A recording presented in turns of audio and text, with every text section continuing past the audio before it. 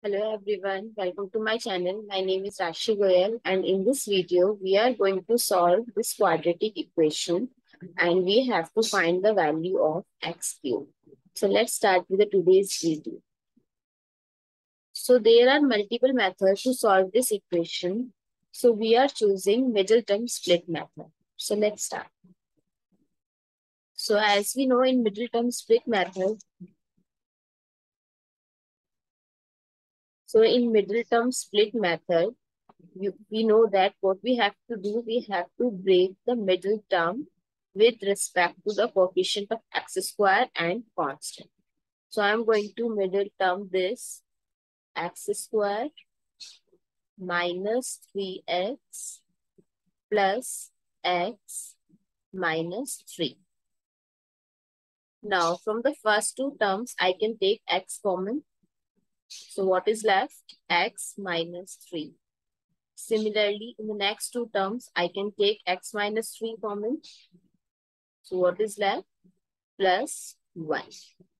So if I'll take x minus 3 common from both the brackets, so x minus 3, so from first x and here plus 1. So now we have two roots of this equation. So either x minus 3 or x plus 1. So 1 by 1, when x minus 3 is equals to 0, the value of x is 3. And in next case, when x plus 1 is equals to 0, the value of x is minus 1. So we have to find the value of x cube. So we have two cases.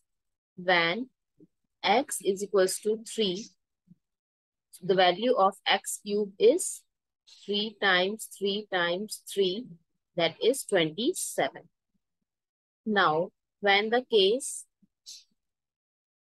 x is equals to minus 1. So x cube is equals to minus 1 times minus 1 times minus 1. That is minus 1. So we have two value of x cube that is 27 and minus 1.